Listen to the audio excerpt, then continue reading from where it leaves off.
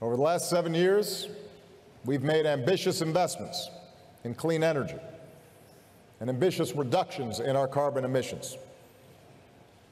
We've multiplied wind power threefold, solar power more than 20-fold, helping create parts of America where these clean power sources are finally cheaper than dirtier conventional power. Now, you'd think, given this extraordinary site, given the fact that this is creating jobs, generating power, helping to keep our environment clean, making us more competitive globally, you'd think that everybody would be supportive of solar power. That's what you'd think.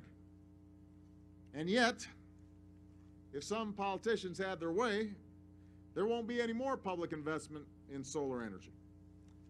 There won't be as many new jobs and new businesses. Some of these folks uh, want to dismiss the promise of solar power and wind power and fuel efficient cars. In fact, they make jokes about it.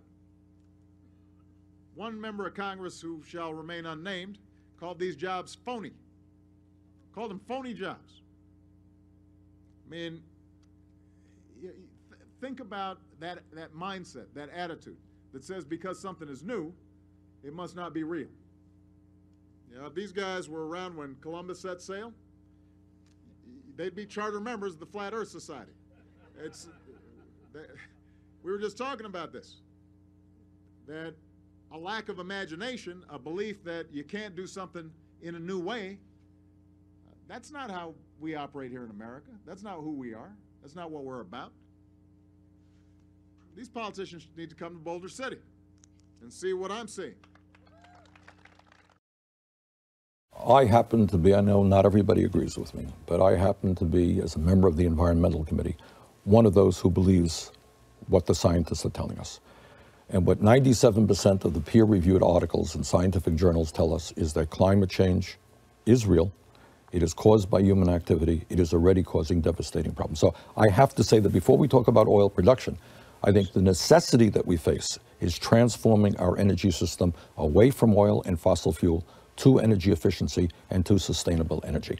So I am not a great fan. I'm opposed to the Keystone Pipeline. I am not a great fan of more and more oil production. I think we have to transform our energy system. And by the way, congratulations to the people of the state of Iowa my understanding is that some 30% of your electricity, electricity is now coming from wind, and it's going to go up. You are, you are being a model for America. Congratulations. Well, but I think bottom line here is that in terms of um, energy, I think we are facing a moral imperative, and that is the need to move away from fossil fuel and move to energy efficiency, where my state is doing a pretty good job, and to sustainable energy like wind, solar, geothermal, and biomass. I think that's an imperative that we've got to You address. said you had to look.